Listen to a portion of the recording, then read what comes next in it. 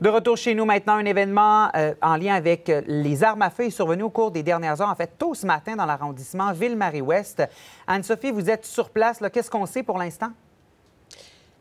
Oui, on se trouve dans l'arrondissement Griffintown. On sait que plusieurs coups de feu ont été tirés sur un commerce, un restaurant licencié, donc un restaurant qui vend de l'alcool, ici sur la rue Wellington, aux angles de la rue Peel. Je vous montre des images.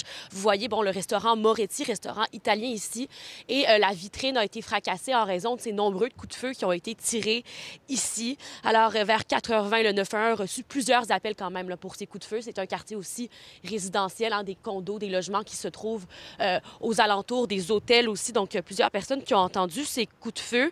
Et euh, les de police de la ville de Montréal a également localisé plusieurs douilles au sol à son arrivée ici. Euh, heureusement, aucun blessé dans cette affaire. Il était 4h20, donc le restaurant qui était fermé à ce moment-là.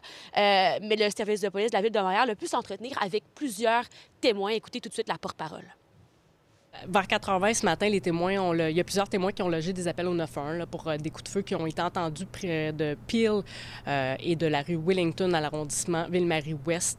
Euh, selon les premières informations que les policiers ont pu obtenir auprès d'eux, il y aurait un ou des suspects qui auraient fait feu en direction d'un commerce licencié situé sur la rue Wellington près de Peel et qui auraient pris la fuite à pied avant l'arrivée des policiers.